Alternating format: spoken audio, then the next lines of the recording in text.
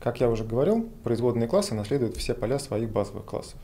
Однако, если внутри базового класса поля были объявлены с модификатором доступа private, то внутри производного класса мы не можем обратиться к этим полям. То есть даже несмотря на то, что эти поля физически хранятся в объектах производного класса, мы не имеем к ним доступа. Это касается не только полей, но и методов. То есть, в принципе, класс-наследник не имеет доступа к private членам родительского класса.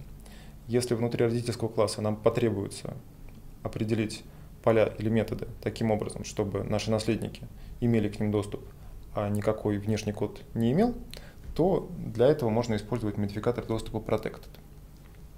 Так, например, в нашем примере с классами person и student мы могли бы определить поля класса person как protected. В этом случае никакой внешний код бы не смог их менять, однако мы смогли бы обращаться к этим полям внутри класса student и в том числе менять эти поля.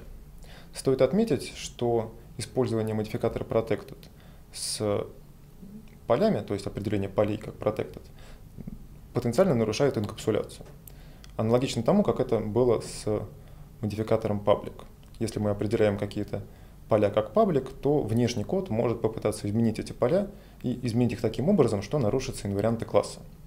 Аналогично, если мы определили поля как protected, то внешний код уже не может это сделать, но это может сделать любой наш наследник. То есть наш наследник может попытаться изменить поля класса таким образом, что будет нарушен вариант класса. Поэтому не стоит использовать protected для полей.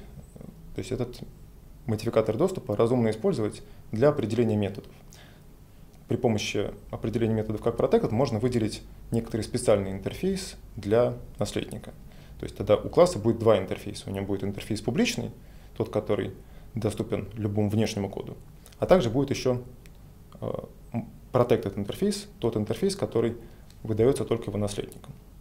При этом, как я уже сказал, делать поля protected не стоит, потому что можно будет не уследить, и какой-то код, унаследовавшийся, нарушит инварианты класса и таким образом приведет программу к э, недееспособному состоянию.